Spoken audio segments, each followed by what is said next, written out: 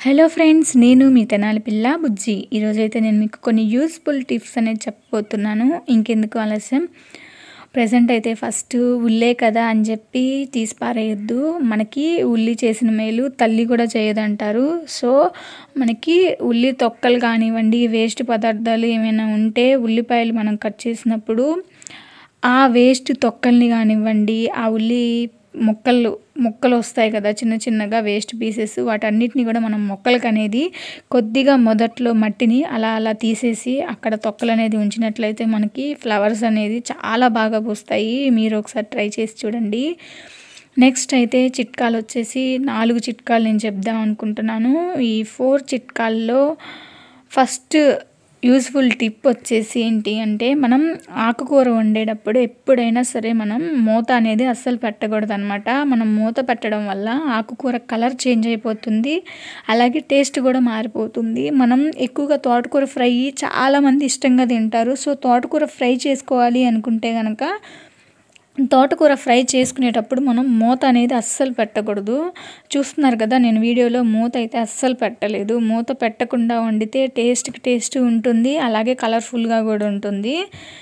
మీరు కూడా ఈ టిప్ని ఒకసారి ట్రై చేసి చూడండి ఫ్రెండ్స్. మీకు తోటకూర చాలా బాగా కలర్ఫుల్గా కనిపిస్తుంది. నెంబర్ టూ టిప్ వచ్చేసి మనం జింజర్ గార్లిక్ పేస్ట్ అనేది ఒక కంటైనర్లో స్టోర్ చేసుకునే ముందుగా మనం చేయాల్సిన పనులు ఏంటి అంటే ఫస్ట్ అల్లం వెల్లుల్లి పేస్ట్ వేసుకునేటప్పుడే మిక్సీలో కొద్దిగా సాల్ట్ అనేది యాడ్ చేసి మనం ఇలాగా మంచిగా ప్లాస్టిక్ కంటైనర్లో స్టోర్ చేసుకొని ఫ్రిడ్జ్లో పెట్టుకుంటే మనకి ఎన్ని మంత్స్ అయినా సరే అలాగే ఉంటుంది. అసలు ఎలాంటి బ్యాడ్ స్మెల్ అనేది రాదు. టేస్ట్ కూడా మారదు.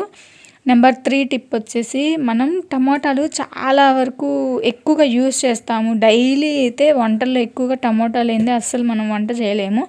సో మనం టమాటాలు ఒకేసారి తెచ్చుకొని స్టోర్ చేసుకోవాలి అనుకుంటే కొన్ని కొన్నిసార్లు అవి పాడైపోవడం అలా జరుగుతాయి. సో అలా అవ్వకుండా ఉండాలి అంటే ఫస్ట్ అయితే మనం వాటర్లో సాల్ట్ అనేది కొద్దిగా యాడ్ చేసి ఆ వాటర్లో మనం టమాటాను అలా నీట్గా కడుక్కొని తర్వాత దాన్ని మనం నీట్గా ఒక గుడ్డతో అనేది పాత క్లాత్ అనేది ఉంటుంది కదా ఆ క్లాత్తో మనం నీట్గా తుడుచుకొని స్టోర్ చేసుకోవచ్చు.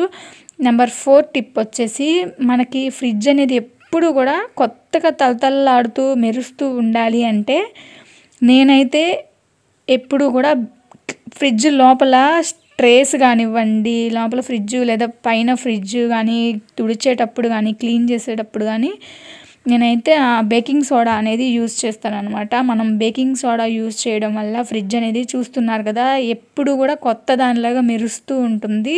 మీరు కూడా ఈ టిప్ని అయితే ఒకసారి ట్రై చేసి చూడండి ఫ్రెండ్స్. నేనైతే కంపల్సరీగా బేకింగ్ సోడాతోనే క్లీన్ చేస్తాను. దానివల్ల ఏంటంటే ఫ్రిడ్జ్ ఫ్రిడ్జ్ ఎప్పుడు కూడా మనకి ఫ్రెష్ ఫీలింగ్ అనేది వస్తుంది. ఎప్పుడు ఓపెన్ చేసినా కానీ బ్యాడ్ స్మెల్ ఉండదు. అలాగే చూడడానికి కూడా చాలా నీట్గా షైనీగా కనపడుతుంది. మీరు కూడా ఈ టిప్ అయితే కంపల్సరీగా ట్రై చేసి చూడండి.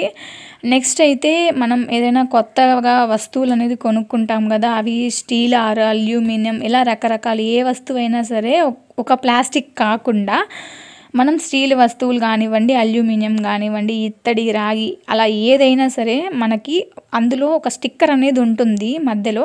సో మనకి ఆ స్టిక్కర్ పోవాలి అంటే చాలా డేస్ పడుతుంది. అలాగే రుద్ది రుద్ది మరకలు కూడా పడతాయి అనమాట సో అది ఈజీగా పోవాలి అంటే పొయ్యి మీద కొంచెం సేపు పెట్టి హీట్ చేస్తే దాని అంతటా అదే స్టిక్కర్ అనేది పైకి వచ్చేస్తుంది. సో నా వీడియో కనుక మీకు నచ్చినట్టయితే లైక్ చేయండి షేర్ చేయండి.